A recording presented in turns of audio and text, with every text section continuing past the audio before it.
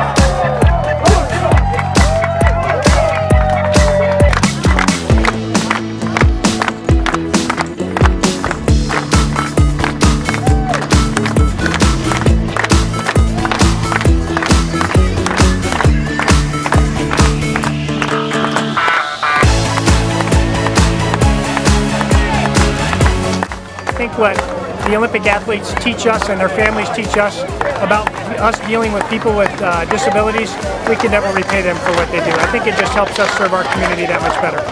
In Manly, which is Huntington, Huntington Beach's sister city, they said a goodbye to them a few days ago and now we're going to give them the big welcome here.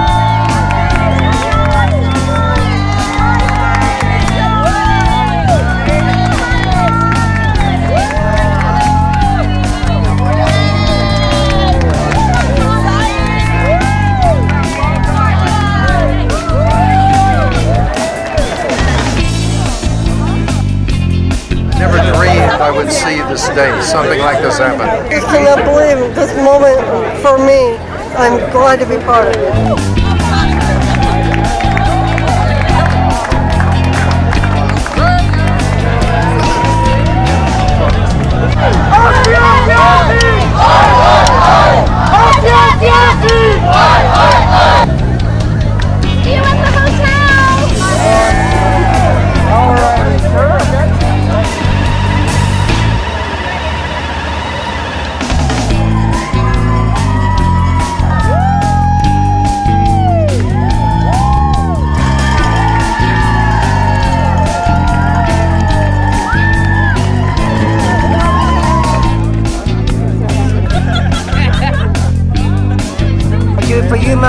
Mom Dad.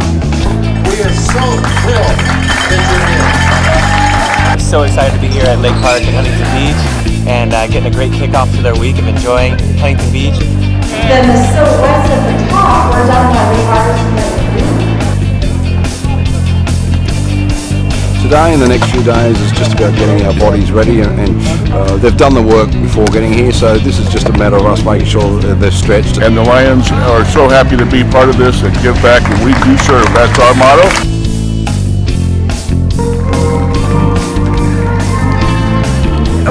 you guys can take a pin off of here and just give. We'll give you the back to it. Give a round of, of applause for the 2D.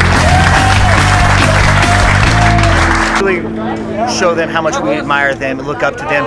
They are truly our heroes as well. I think what is most apparent is that the human spirit is what keeps us together as community. And when, when we think of community, a lot of times we think of it as Huntington Beach community, but truly the human community is so much bigger. And when you see what's happening here, I think it's really apparent that the community, the world community, is just a really special place to be.